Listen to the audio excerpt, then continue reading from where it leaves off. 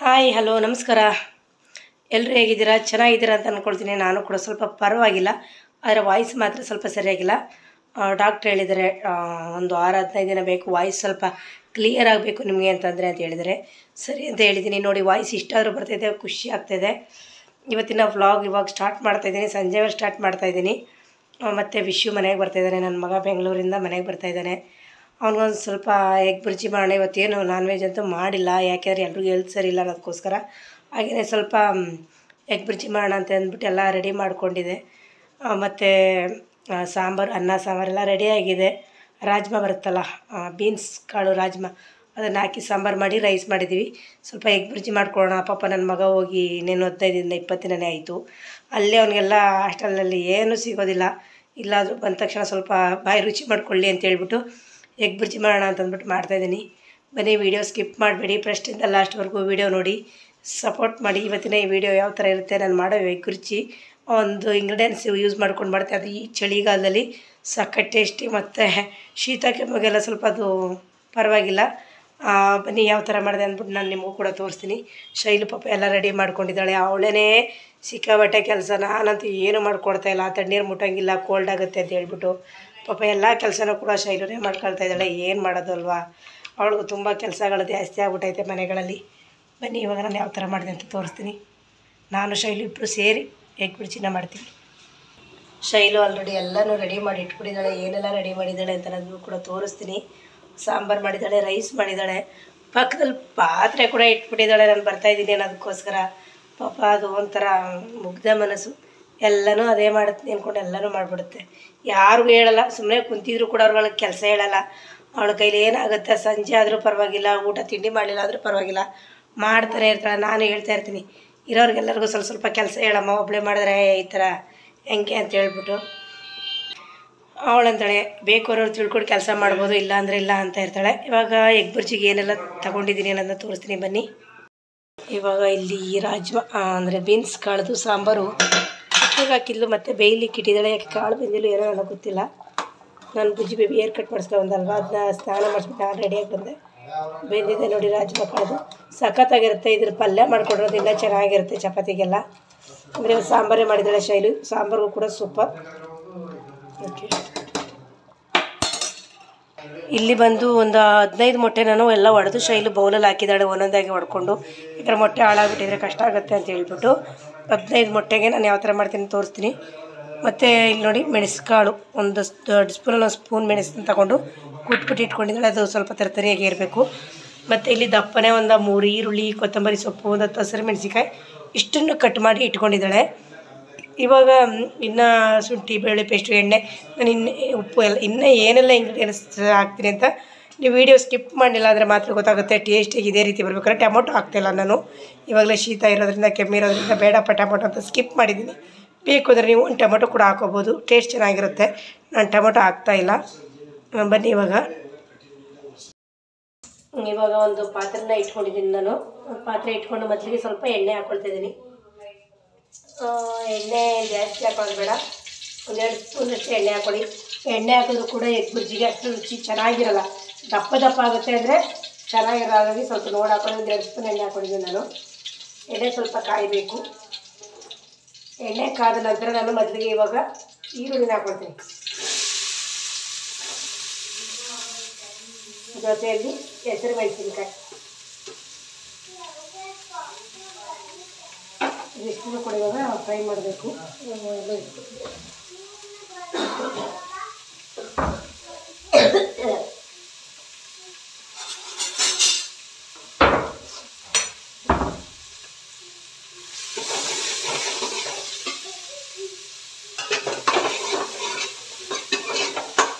ಇದಕ್ಕೆ ಇವಾಗ ಸ್ವಲ್ಪ ಬೇಗ ಈರುಳ್ಳಿ ಫ್ರೈ ಆಗಬೇಕು ಅಂದರೆ ಸ್ವಲ್ಪ ಉಪ್ಪಿನ ಪುಡಿನ ಹಾಕೋಣ ಮತ್ತು ಟೇಸ್ಟ್ ಕೂಡ ಚೆನ್ನಾಗಿರುತ್ತೆ. ಹಾಗಾಗಿ ನಾನು ಇಲ್ಲಿಗೆ ಉಪ್ಪಿನ ಪುಡಿನ ಹಾಕ್ಕೊಳ್ತೀನಿ.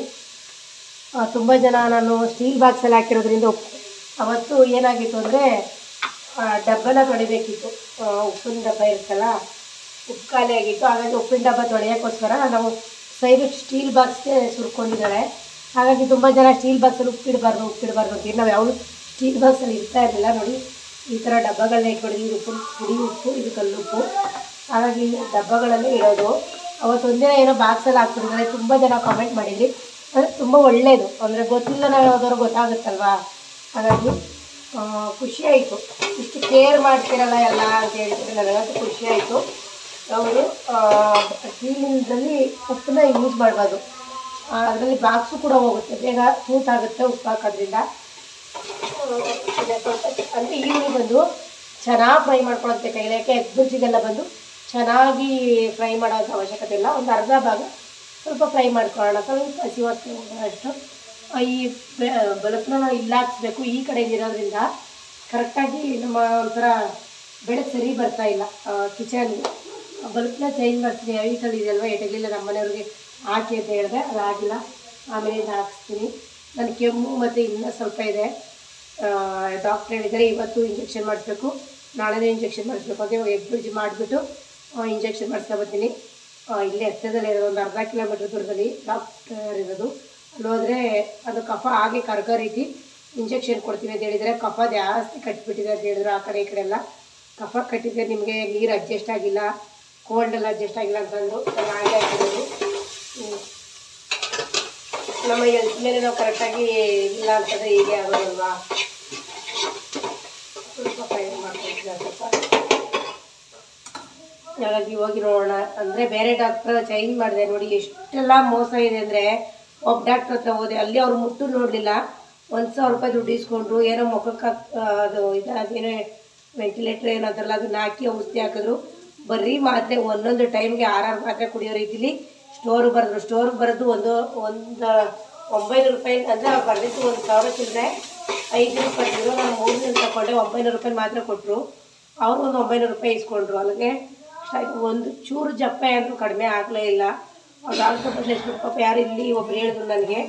ಅಲ್ಲಿ ಹೋದ್ಮೇಲೆ ಅವ್ರು ಆರುನೂರು ರೂಪಾಯಿ ತಗೊಂಡು ಮೆಡಿಸಿನ್ ಮಾತ್ರೆಗಳು ಕೊಟ್ಟರು ಎರಡು ಇಂಜೆಕ್ಷನ್ ಕೊಟ್ಟರು ಪರವಾಗಿಲ್ಲ. ಅದಕ್ಕೆ ಇವತ್ತು ಎರಡು ಇಂಜೆಕ್ಷನ್ ಮಾಡಿದ್ವಿ. ಇವತ್ತು ನಾಳೆ ಹೋಗಿದ್ದಾರೆ. ಮಾಡಿಸ್ಬಿಡೋಣ. ಇವಾಗ ನಾನು ಇದಕ್ಕೆ ಸ್ವಲ್ಪ ಶುಂಠಿ ಪೇಸ್ಟ್ ಬೆಳ್ಳುಳ್ಳಿ ಪೇಸ್ಟ್ ಹಾಕ್ಕೊಳ್ತೀನಿ ಜಾಸ್ತಿ ಜಾಸ್ತಿನೂ ಹಾಕೋಬಾರ್ದು.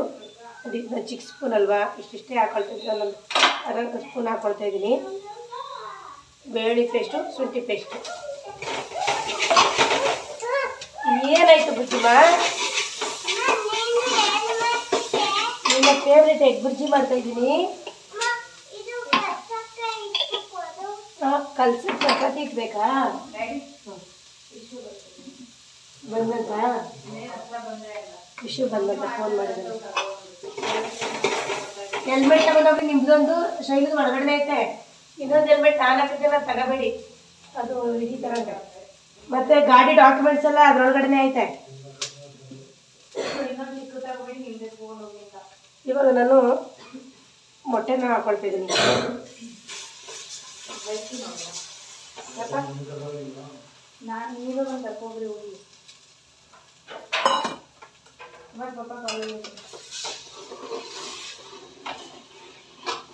ಸ್ವಲ್ಪ ಚೆನ್ನಾಗಿ ಮಿಕ್ಸ್ ಮಾಡ್ಕೊಳ್ಬೇಕು ಇವಾಗ.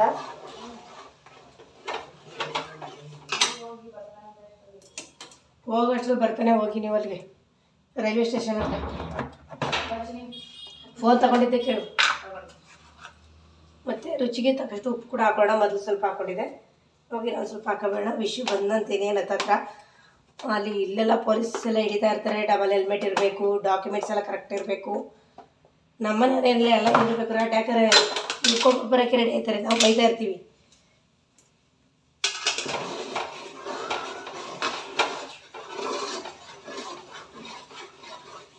ಸ್ವಲ್ಪ ಎಲ್ಲ ನೀಟಾಗಿ ಮಿಕ್ಸ್ ಮಾಡ್ಕೊಬಿಡೋಣ.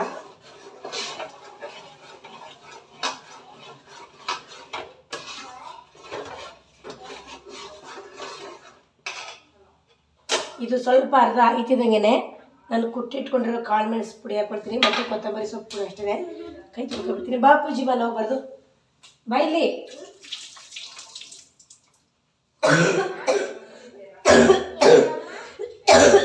ಬಾ ಇಲ್ಲಿ. ಕೂದಲೇನು ಕಟ್ ಮಾಡಿಸಿದೆ ಅದು ತೋರಿಸೋಣ ಇಲ್ಲಿ. ಚಪಾತಿ ತಗೊಂಡು ಕಲಿಸ್ತಾ ಇದ್ದಾರೆ ಬುಜ್ಜಿ ಬೇಬಿ. ಹ್ಞೂ ಏರ್ ಕಟಿಂಗ್ ಮಾಡಿಸ್ಕೊಂಡಿದ್ದಾರೆ? ಹಾಂ ಹೇಳ್ಬಿಡಿ. ಏರ್ ಕಟಿಂಗ್ ಮಾಡಿಸ್ಕೊಂಡ್ಬಿಟ್ಟು ಸ್ನಾನ ಮಾಡು ಅಂದರೆ ಏರ್ ಕಟಿಂಗ್ ಮಾಡಿಸಿದ್ದೀನಿ ಅಮ್ಮ ಸ್ನಾನ ಮಾಡೋಂಗಿಲ್ಲ ಅಂತ ಹೇಳ್ತಾ ಇದ್ದಾನೆ. ಕಳ್ಳ ಇವನು. ಇವನೇ ವಿಷನ್ ಕರೆಸ್ತಾ ಇರೋದು. ವಿಷಮಮ್ಮ ಬಾ ವಿಷಮಮ್ಮ ಬಾ ಅಂತ ಅಳ ಅಳಕ್ಕೆ ಸ್ಟಾರ್ಟ್ ಮಾಡ್ಕೊಂಡಿದ್ದ. ಅವ್ರ ಪಪ್ಪನ ಕರೆದು ಕರೆದು ಸಾಕಾಯ್ತು ಅವ್ರಿಗೆ ಅವ್ರ ಪಪ್ಪ ಬರಲಿಲ್ಲ. ಮಾಮನ ಕರೆಸ್ತಿದ್ದಾರೆ ಅದು ತಿರ್ದು ಬಿಡ್ತೀನಿ ಕೆಳಗಡೆ ಏನ ಹೊಟ್ಟೆ ನೋಡ್ತೀಯಾ? ನೋಡಿ ಮಾಡ್ತೀವಿ ಸ್ವಲ್ಪ ಮಿಕ್ಸ್ ಮಾಡ್ತೀವಿ ಶೈಲು ಸುನೀಲ್ ಕಾಲ್ ಮಾಡಿದರೆ, ಮಾತಾಡ್ತಾ ಇದ್ದಾಳೆ. ಇಬ್ಬರು ಸೇರ್ ಮಾಡ್ತೀವಿ ನಾನು. ಸುನೀಲ್ ಮಧ್ಯಾಹ್ನ ಎಲ್ಲ ಕಾಲ್ ಕರೆಕ್ಟಾಗಿ ಫೋನಲ್ಲಿ ಮಾತಾಡಿರಲಿಲ್ಲ, ಯಾಕೆ ಬ್ಯುಸಿ ಇದ್ರಲ್ಲ. ಅದಕ್ಕೆ ಅವ್ರು ಫೋನ್ ಬಂತಲ್ವಾ? ಸರಿ, ಹೋಗಮ್ಮ, ನೀನು ಮಾತಾಡು ರೂಮಲ್ಲಿ ಅಂತ ಹೇಳ್ಬಿಟ್ಟು ಕಳಿಸ್ಬಿಟ್ಟು ನಾನು ಒಬ್ಬಳೇ ಮಾತಾಡಿದ್ದೀನಿ. ಪಾಪ ಎಲ್ಲ ಅವಳೇ ರೆಡಿ ಮಾಡಿಟ್ಟಿದ್ದಾಗಿದ್ದಾಳೆ ಅಂದರೆ ಏನೋ, ಶೈಲು ನನ್ನ ಪಕ್ಕ ಇದ್ದರೆ ಏನೋ ಒಂಥರ ಖುಷಿ. ಮಾತಾಡ್ಕೊಂಡು ವೀಡಿಯೋ ಎಲ್ಲ ಮಾಡ್ಬೋದು. ಅವಳು ಏನೋ ಅವಳು ದೂರ ಇದ್ದರೆ ಒಂಥರ ಅನ್ನಿಸ್ತಾ ಇರುತ್ತಲ್ವ? ನೋಡಿ ಇವಾಗ ಕಾಳು ಮೆಣಸಿನ ಪೌಡ್ರ್ ಹಾಕೊಂಡಿದ್ದೀನಿ. ಹಾಗೆ ಕೊತ್ತಂಬರಿ ಸೊಪ್ಪು ಕೂಡ ಹಾಕೊಂಡಿದ್ದೀನಿ. ಕಟ್ ತೊಳೆದು ಬಿಟ್ಟು ಕಟ್ ಮಾಡಿಕೊಂಡಿರುವಂಥ ಕೊತ್ತಂಬರಿ ಸೊಪ್ಪು. ಇದು ಕೊನೆಯಲ್ಲಿ ಹಾಕೊಳ್ಳೋ ಬದಲು ಸ್ವಲ್ಪ ಅರ್ಧ ಆದ ನಂತರ ಹಾಕಿ ಮಿಕ್ಸ್ ಮಾಡೋದ್ರಿಂದ ತುಂಬಾ ಚೆನ್ನಾಗಿರುತ್ತೆ. ಮತ್ತು ಒಬ್ಬೊಬ್ಬರು ಏನು ಮಾಡ್ತಾರೆ ಗೊತ್ತಾ? ಇದು ಸ್ವಲ್ಪ ಉಂಡೆ ಕಟ್ಕೊಳ್ತಾ ಇರ್ತಾರೆ ಎಗ್ಗು. ಅವಾಗ್ಲೇ ಸರಿ ಆಯಿತು ಅಂತ ಹೇಳ್ಬಿಟ್ಟು ನಿಲ್ಸ್ಬಿಡ್ತಾರೆ, ಆ ಥರ ಮಾಡಬೇಡಿ. ಚೆನ್ನಾಗಿ ಫ್ರೈ ಮಾಡಬೇಕು, ಚೆನ್ನಾಗಿ ಫ್ರೈ ಮಾಡಿ ಉಂಡೆ ಉಂಡೆ ಥರ ಗಮ್ ಅಂತ ಬರ್ತಾ ಇರಬೇಕು. ಅಲ್ಲಿವರೆಗೂ ಫ್ರೈ ಮಾಡಬೇಕು ಎದ್ದು ಬಂದು, ಇಲ್ಲ ಅಂದರೆ ಹೊಲ್ಸು ಬರುತ್ತೆ. ಸ್ಮೆಲ್ಲು ಹೊಲ್ಸು ಟೇಸ್ಟ್ ಚೆನ್ನಾಗಿರಲ್ಲ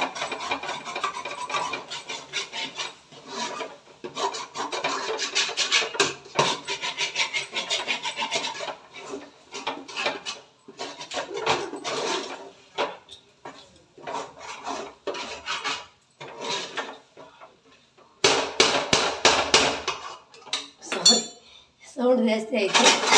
ಸ್ವಲ್ಪ ಇದಿದೆ. ಅದಕ್ಕೆ ಬೇರೆ ತಗೋಬೇಡ ಅಂತ ತಗೊಳ್ತಾ ಇವಾಗ.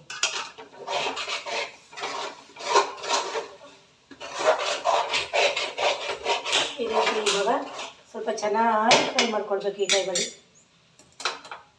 ನಾವು ಸ್ವಲ್ಪ ಫ್ರೈ ಆಗಿಬಿಟ್ರೆ ಆಯಿತು. ಹ್ಞೂ ಹ್ಞೂ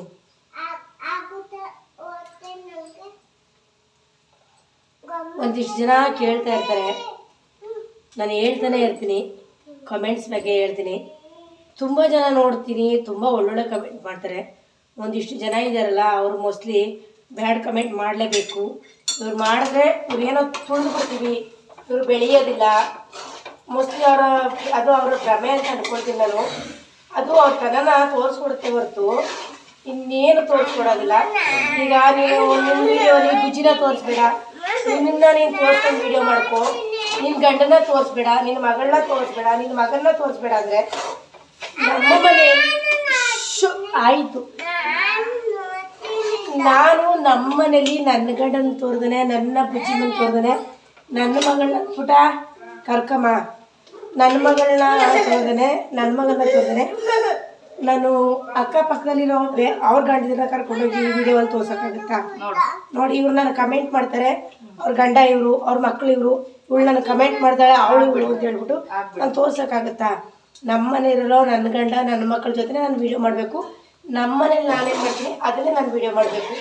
ಅದನ್ನು ಬಿಟ್ಟು ನೀನು ಅವ್ರನ್ನ ತೋರಿಸ್ಬೇಡ ನಮ್ಮ ಮನೇಲಿರೋರನ್ನೇ ನೀನು ಅವ್ರನ್ನ ತೋರಿಸ್ಬೇಡ, ಇವ್ರನ್ನ ತೋರಿಸ್ಬೇಡ ನಿನ್ನ ಗಂಡನ ತೋರಿಸ್ಬೇಡ ನಿನ್ನ ಮಗನ ತೋರಿಸ್ಬೇಡ, ಮಕ್ಕಳನ್ನ ತೋರಿಸ್ಬೇಡ. ಅಂದರೆ ಅರ್ಥ ಇರೋದು ನೀವೇ. ಹೇಳಿ ಒಂದಿಷ್ಟು ಜನ ಕಮೆಂಟ್ ಮಾಡ್ತಾ ಇರ್ತಾರೆ. ಅಂದರೆ ಎಷ್ಟು ಕೆಟ್ಟ ಕೋಪ ಬರುತ್ತೆ ಗೊತ್ತಾ ನನಗೆ? ಅರೆ, ನಮ್ಮ ಮನೆಗಿರೋ ನನ್ನ ಮಕ್ಕಳನ್ನ, ನನ್ನ ಗಂಡನ ನನ್ನ ಮನೇನ ನಾನು ತೊಳ್ಕೊಂಡು ವೀಡಿಯೋ ಮಾಡಿದ್ರೆ ಇವ್ರಿಗೇನಪ್ಪ ಕಷ್ಟ? ಮೋಸ್ಟ್ಲಿ ಅವ್ರಿಗೆ ಏನಾದರೂ ಅನ್ನಿಸ್ತದೋ ಅದು ನನಗೆ ಗೊತ್ತಿಲ್ಲ. ಯಾಕೆ ಇವ್ರ ಫ್ಯಾಮಿಲಿ ಏನು ಇಷ್ಟು ಚೆನ್ನಾಗಿದ್ದಾರೆ ಅಮ್ಮ ಮಗಳಾಗ್ಬೋದು, ಮತ್ತು ನೀವೇನು ಸೀಮೆಗೆ ಇಲ್ದದವ್ರ ಅಮ್ಮ ಮಗಳ? ಸಿ ನಿನಗೆ ಸೀಮೆಗೆ ಇಲ್ಲದೆ ಏನಾರೋ ಮೊಮ್ಮಗನ ಎಲ್ಲ ಕಣ್ರಿ, ನಿಮ್ಗಳಿಗೆ ಅವ್ರ ಅದ್ರ ವ್ಯಾಲ್ಯೂ ಗೊತ್ತಿಲ್ಲದೆ ಇರ್ಬೋದು. ತಾಯಿ ಮೇಲೆ ಗೊತ್ತು ತಾಯಿ ಅಂದರೆ ಏನು ಅಂತ ಗೊತ್ತಿಲ್ಲದೆ ಇರ್ಬೋದು ಮಕ್ಕಳು ಅಂದರೆ ಏನು ಅಂತ ಗೊತ್ತಿಲ್ಲದೆ ಇರ್ಬೋದು ನಮ್ಮ ಮನೇಲಿ ನಾನು ಆ ಥರ ಇಲ್ಲಪ್ಪ. ನನ್ನ ಮಕ್ಕಳಿಗೋಸ್ಕರ ನನ್ನ ಜೀವನೇ ಕೊಟ್ಬಿಡ್ತೀನಿ. ನನ್ನ ಮಕ್ಕಳು ಅಂದರೆ ನನ್ನ ಜೀವ, ನನ್ನ ಮಕ್ಕಳು ಅಷ್ಟೇ ನನಗೋಸ್ಕರ ಏನು ಬೇಕಾದ್ರೂ ಮಾಡಲಿಕ್ಕೆ ಸಿದ್ಧವಾಗಿರ್ತಾರೆ. ಸ್ವಲ್ಪ ಕೆಮ್ಮು. ನನ್ನ ಮಕ್ಕಳು ನನಗೋಸ್ಕರ ಏನು ಬೇಕಾದ್ರೂ ಮಾಡ್ತಾರೆ ಅಂದರೆ ನನ್ನ ಫ್ಯಾಮಿಲಿ ಒಳಗಡೆ ನಾವು ವಿಡಿಯೋ ಮುಂದೆ ಈ ರೀತಿ ಇರಬೇಕು ಅಂತಲ್ಲ, ನಾವು ವೀಡಿಯೋಗಿಂತ ವೀಡಿಯೋ ಮಾಡೋದ್ರಿಂದ ಹಿಂದೆ ಇರುತ್ತಲ್ಲ ಪ್ರೀತಿ? ಅದನ್ನ ನೋಡಿದ್ರೆ ನೀವು ಬೇಡ ಕಮೆಂಟ್ ಮಾಡೋರು, ಹೊಟ್ಟೆ ಹೊರ್ಕೊಂಡೆ ಸತ್ತೋಗ್ಬಿಡ್ತೀರಾ? ಇಷ್ಟು ಚೆನ್ನಾಗಿರ್ತಾರೆ ಅವ್ರ ತಾಯಿ ಮಗಳು ತಾಯಿ ಮಗಳ ಥರನೇ ಇರಲ್ಲ. ಯಾವ ಫ್ರೆಂಡ್ಲಿ ಆಗಿರ್ತೀವಿ, ಅವಳ ಬಾಯಲ್ಲಿರೋದು ನಾನು ತಿಂತೀನಿ, ನನ್ನ ಬಾಯಲ್ಲಿರೋದು ಅವಳು ತಿಂತಾಳೆ, ಒಬ್ರಿಗೊಬ್ರು ತಪ್ಕೊಂಡು ತಿರ್ಗಾಡ್ತೀವಿ ಹೆಗಲ ಮೇಲೆ ಕೈ ಹಾಕೊಂಡು ತಿರ್ಗಾಡ್ತೀವಿ. ನಾವು ಆರ್ತಿಗಳು ಮಲಗಿದ್ರೆ ಒನ್ ಅವರ್ ಅದು ಇಬ್ಬರು ಒಬ್ರಿಗೊಬ್ರು ಒಂದು ದಿಬ್ಬಲ್ಲಿ ತಲೆ ಹಾಕೊಂಡು ಮಲಗ್ತೀವಿ, ನಾನು ನನ್ನ ಮಗಳು. ಅದಕ್ಕೆ ತಾಯಿ ಪ್ರೀತಿ ಅಂತ ಹೇಳ್ತಾರೆ ಮಕ್ಕಳ ಪ್ರೀತಿ ಅಂತ ಹೇಳಿದ್ರೆ ಆ ಸವಿ ಬೇಕು, ಆ ಪ್ರೀತಿ ಇರೋದು ಏನಕ್ಕೆ? ಮೊಮ್ಮಕ್ಕಳು ಮಗಳು ಈ ಪ್ರೀತಿ ಇರೋದೇನಕ್ಕೆ ಅದನ್ನೆಲ್ಲ ಸವಿಬೇಕು ನಮ್ಮ ಪ್ರೀತಿನ. ಅದನ್ನು ಬಿಟ್ಟು ನೋಡಿ ನಾನು ಏನಾದರೂ ತಪ್ಪಾಗಿ ಮಾಡ್ತಾ ಇದ್ರೆ, ತಿದ್ದಿ, ನೀವು ಮಾಡ್ತಾ ಇರೋ ಸರಿ ಇಲ್ಲ ಅಂತೇಳಿ ಅದನ್ನು ಬಿಟ್ಟು ಈ ರೀತಿ ಹೊಟ್ಟೆ ಉರಿ ಎಲ್ಲ ಪುಟ್ಕೊಳಕ್ಕೆ ಹೋಗ್ಬೇಡಿ. ನೀವು ಸಾವಿರ ಹೇಳಿದ್ರು ಕೂಡ ನಾನು ನನ್ನ ಮಕ್ಕಳಿಂದ ನಮ್ಮ ಫ್ಯಾಮಿಲಿಯಿಂದ ಪ್ರೀತಿನ ತೋರಿಸೋದಂತೂ, ಅವ್ರನ್ನ ತೋರಿಸಿ ವಿಡಿಯೋ ಮಾಡೋದಂತೂ ಬಿಡೋದಿಲ್ಲ.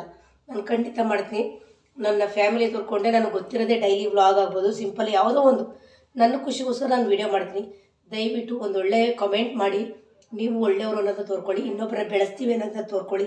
ನಾವು ಇನ್ನೊಬ್ಬರ ತುಳಿತೀವಿ ಅನ್ನೋದು ನಿಮ್ಮನ್ನು ತೋರುತ್ತೆ ಹೊರತು ಅದು ನನ್ನನ್ನೆಲ್ಲ ಬೆರಳು ಮಾಡಿ ತೋರೋದು ಅದಕ್ಕೆ ಅವಳೆ ಅವಳು ಬ್ಯಾಡ್ ಕಮೆಂಟ್ ಹಾಕತ್ತು ಹೋದರೆ ಅದಕ್ಕೆ ಒಂದು ಹತ್ತಿಪ್ಪತ್ತು ಲೈಕ್ ಬೇರೆ. ಯಾಕೆ ನೀವು ಕಮೆಂಟ್ ಮಾಡಿಬಿಡಿ. ಲೈಕ್ ಏನೋ ಕೊಡ್ತೀರಾ? ಕೆಟ್ಟದಕ್ಕೆ ಯಾವಾಗಲೂ ಸಪೋರ್ಟ್ ಮಾಡಬೇಡಿ. ಕೆಟ್ಟದಾಗ ನಾನು ಏನು ಮಾಡಿಲ್ಲ ಅಂತ ಒಂದು ಸ್ಟೋರಿ ಇದೆ, ಹೇಳ್ತೀನಿ. ನಾನು ಹುಟ್ಟಿರೋದು ಮೈಸೂರಲ್ಲಿ, ಬೆಳೆದಿರೋದು ಮೈಸೂರಲ್ಲಿ. ನಾವು ಹೋಗಿದ್ದದ್ದು ಬೇರೆ ಕಡೆ, ಮತ್ತೆ ರಿಟರ್ನ್ ನಾವು ಇಲ್ಲಿ ಬಂದಿದ್ದೀವಿ, ಅದು ಏನಾಯಿತು? ನನ್ನ ಜೀವನ ಯಾವ ಥರ ಇತ್ತು? ನಿಜವಲ್ಲ ನಾನು ಅದನ್ನು ಹೇಳ್ತೀನಿ. ನಾನು ಏನಕ್ಕೆ ಈ ಥರ ಇರಬಾರ್ದು ಅನ್ನೋದು ಕೂಡ ಹೇಳ್ತೀನಿ. ಇವಾಗ ಎಗ್ ಬುರ್ಜಿ ಕೂಡ ರೆಡಿಯಾಗಿದೆ ನಾನು ಸರ್ವ್ ಮಾಡಿ ತೋರಿಸ್ತೀನಿ. ತುಂಬಾ ಚೆನ್ನಾಗಿದೆ ನಾನು ಮಾತಿದ್ದೆ ಬೇಜಾರಾಗಿದೆ, ಕ್ಷಮಿಸಿ. ಎಗ್ ಬುರ್ಜಿ ಇದು ಸಖತ್ತಾಗಿ ಬಂದಿದೆ. ಈ ರೀತಿ ಫುಲ್ ಡ್ರೈ ಆಗೋವರೆಗೂ ಮಾಡಬೇಕು. ನೋಡಿ.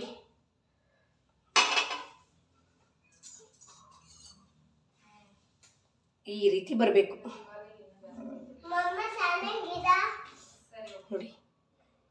ತುಂಬಾ ರುಚಿಯಾಗಿ ತುಂಬಾ ನಿಜ ಚೆನ್ನಾಗಿ ಬಂದಿದೆ ಎಗ್ ಬುರ್ಜಿ ಅಂತೂ. ನಮ್ಮ ಬುಜ್ಜಿ ಬೇಬಿಗೆ ಇಷ್ಟ.